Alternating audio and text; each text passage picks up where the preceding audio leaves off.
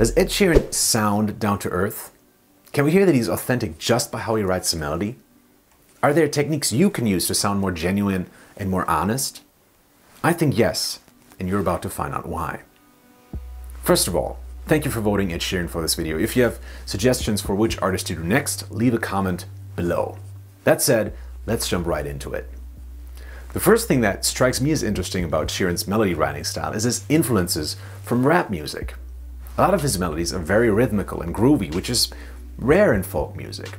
Most singer-songwriters prefer a legato feel. Time, nights, right. Sheeran also pronounces his words like a rapper, with very clear enunciation, unlike most folk artists, who swallow their consonants.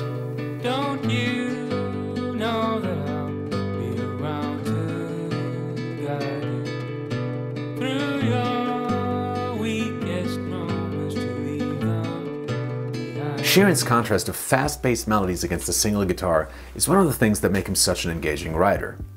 On top of that, it fits his personality. Young, fresh, energetic. This is what folk sounds like if you draw from Fetty Wap instead of Bob Dylan.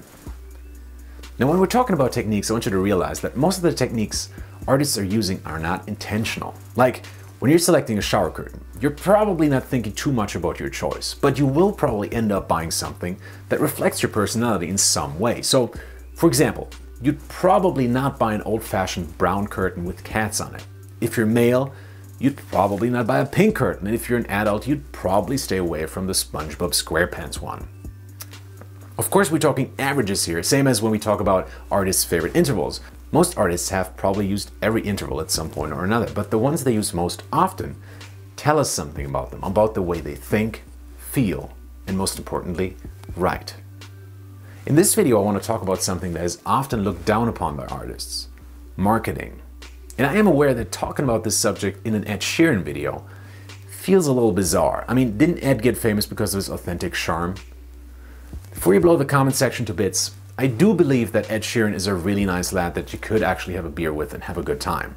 Maybe I'm naive, but I don't think that part is made up, just like I don't think Pink or The Weeknd are faking their attitude. The best artists capitalize on certain traits like their voice or writing style that make them instantly recognizable. In music, you call this your style. In marketing, you call it an image. So for example, what do you see in your mind when you think of Ed Sheeran's private life? I see him in a pub. Where do you see Rihanna? At the beach? How about Pink? I see her trashing a hotel room. Miley Cyrus? Naked on a wrecking ball, of course. Wiz Khalifa? Smoking a joint playing FIFA. Do these images resonate with you? Do they make sense to you? That is because these artists have a clear image that they put forward through their musical choices, dress code, stage show, music videos, how they talk in interviews, and how they interact with their fans. So let's look at the three artists again that we have discussed in these videos. What are their images and how does it relate to their melody writing? Taylor Swift is stylish, modern, and warm, which we have said corresponds to the root note. The Weeknd is cold, mysterious, and dark. His intervals are the 4 and 5. Cold, mysterious intervals. And now, Ed Sheeran. What comes to mind when you think of him?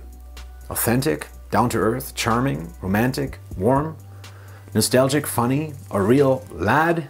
Which for some reason, no matter how I pronounce it, always sounds Russian? Well, which intervals fit this description?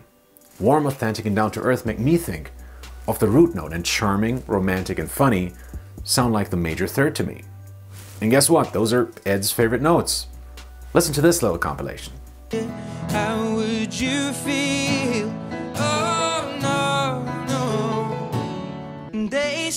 she's in class 18. Give a little time to me. We'll burn this out. We'll play hide and seek. Now I see fire inside the mountain. I see fire. I'm out of touch. I'm out of love. I'll pick you up when you're getting down.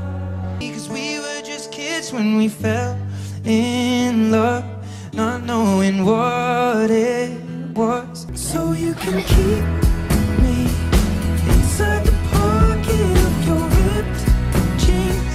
I'm on my way, driving at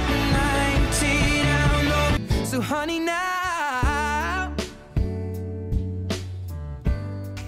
Pretty cool, huh? And by the way, if you're wondering, Ed is making use of the entire major scale, which as we discussed in the Weeknd episode is typical for white artists and singer-songwriters in particular because it sounds warmer and prettier than the pentatonic scale.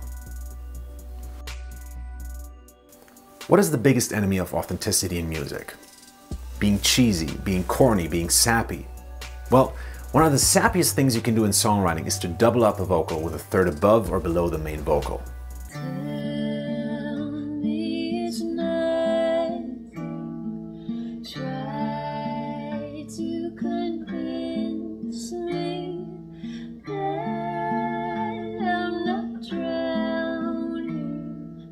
I actually use this technique all the time, as do songwriters all around the world, and it does sound lovely, but it comes at a cost.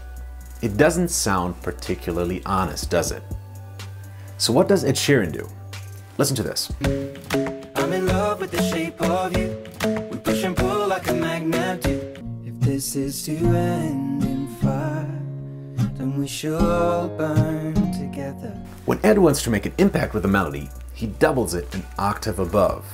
While this doesn't add any new emotion to the melody, which in itself is already emotionally loaded because of his note choices, it helps the melody cut through and form the high point of the song. Now you may think, wait a minute, I've heard this before, haven't I? To which I'd say, yes you have, and thanks for pointing that out. You were probably thinking of this. My mama don't like you and she likes everyone. And I never like to admit that I was wrong. Unless you were still thinking about this, in which case I can't really blame you. So, you've heard this kind of backing vocals before from Justin Bieber. I'll let you in on a little secret. Justin doesn't write his own songs. And now guess who wrote Love Yourself? Right, this guy. If you're a performing artist or if you write for performing artists, always make sure you understand the image first. If there is no image, there is no artist. There's only a singer. So sit down with your artists, talk to them about what they care about musically and privately. How do they come across? Do they look and behave in line with their sound? In other words, do they look the part or are they just trying to copy someone else and it just doesn't fit?